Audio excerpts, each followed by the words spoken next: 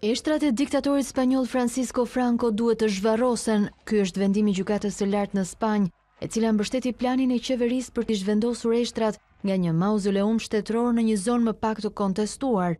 Kërkesa e familjes së ish-udhëheqësit kundër zhvarrosjes u refuzua. bashkë me propozimin për një vend alternativ. Sigurisht që do të apelojmë. Kjo çështje do të zgjatet për aq sa të lejojnë procedurat dhe nëse do të jetë e nevojshme, do t'i drejtohemi edhe Gjykatës së Strasburgut.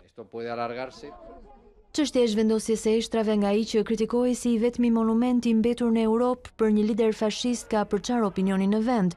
Spanja vazhdon të përndiqet nga epoka e Francos, i cili fitoi luftën civile në vitet tridhjetë dhe sundoi Spanjën deri në një mijë e nëntëqind e shtatëdhjetë e pesë-ën. Kryeministri Pedro Sanchez e cilësoi vendimin si një fitore të madhe për demokracinë, ndërsa zëvendësi i tij tha se procedura e zhvarrosjes do të zhvillohej sa më shpejt të jetë e mundur. Nuk munguan reagimet nga viktimat e regjimit të Francos. Një fashist e diktator nazist, si Franco nuk mund të prehet në një vend publik. Eshtrat duhet t'i jepen familjes.